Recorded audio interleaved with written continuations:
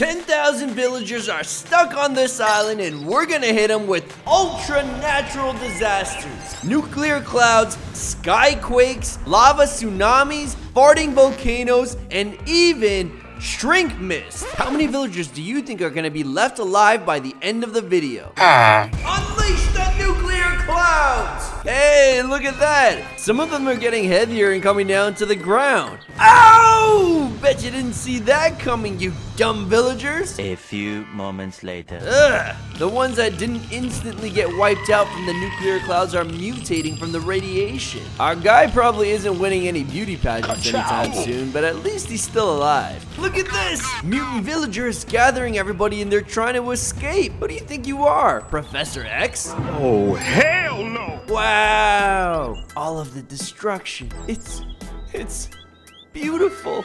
But it looks like the nuclear clouds are drained. So what are we gonna do about those runners? Well, what do you know? The water from the ocean is evaporating back into the clouds. But remember, these ain't just any regular clouds, which means yeah! Acid rain! it's literally melting the villagers who are trying to run away. Rain, rain, go away, melt a villager another day.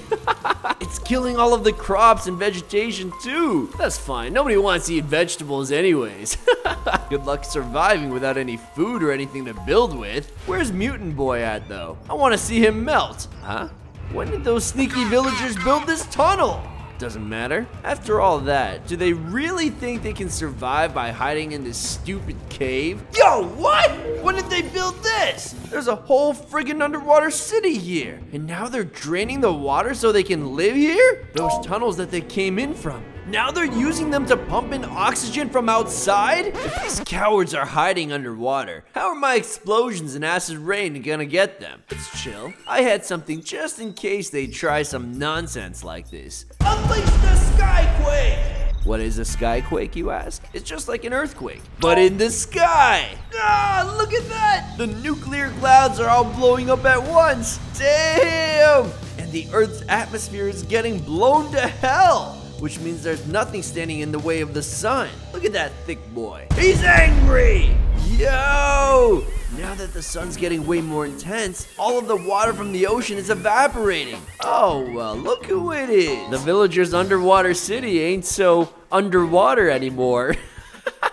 what a nice view. Now that the sky is torn open. Yo, what? what Asteroids are falling in too now. Now that's just a bonus. Oh! Bruh. The asteroids are catching radiation as they pass through the nuclear clouds. So we got nuclear asteroids coming straight for the villager city. Sayonara, you dumb villagers. It's been fun. We've made some great videos together. I might even miss you just a little bit. Yo, what?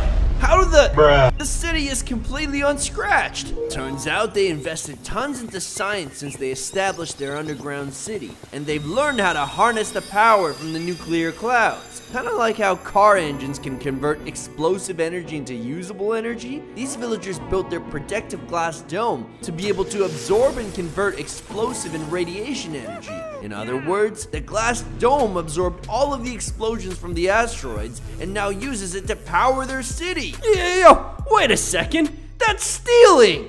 Not only that, but the mutations from the radiation are actually helping the villagers. They've evolved to be able to survive on really little water, kind of like camels. Yo, this damn villager city is now a flying version of Wakanda. They think they can harness my nuclear power and use it for their own gain? Nah, nah, nah. I've just been toying around with these villagers up until now, seeing what they're capable of. But they're not ready for what's next. Unleash the lava tsunami!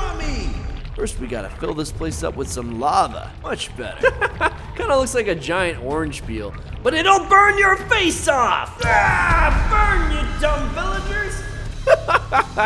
Their dumb glass dome wasn't built to take on lava. Bet they never saw this coming. Now you dumb villagers got nowhere to run.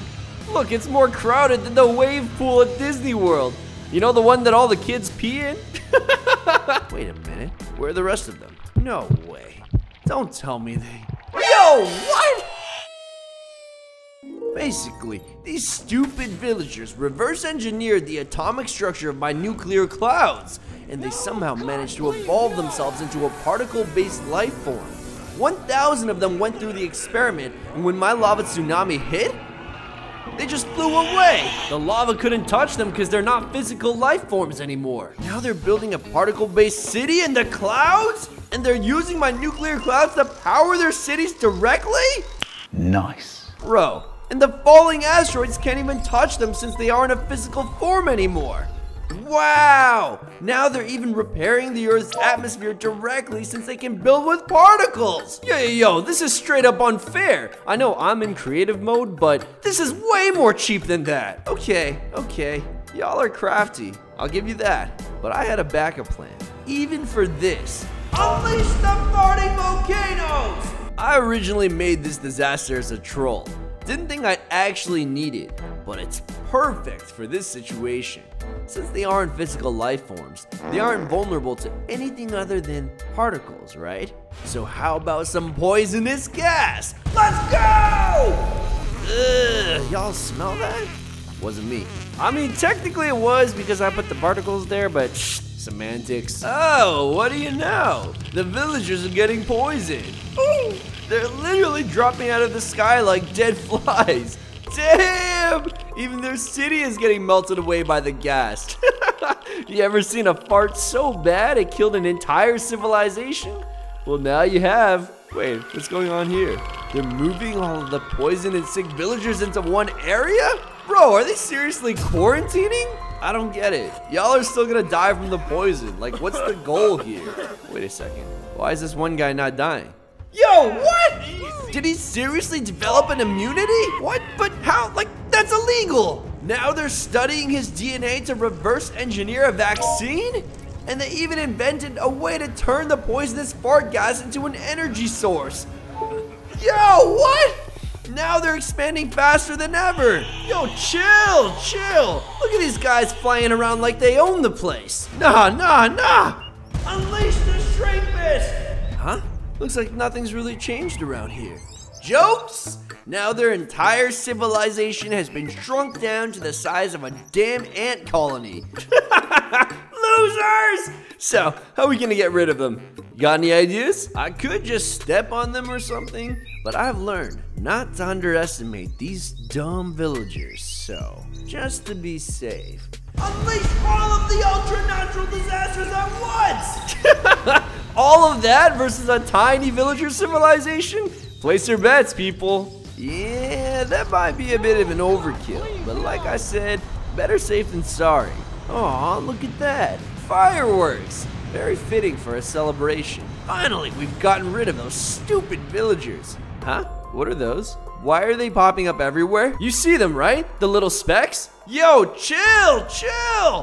What the Bruh. is this thing? No, you're telling me that every single one of those stars is a tiny villager civilization? And there's how many villagers?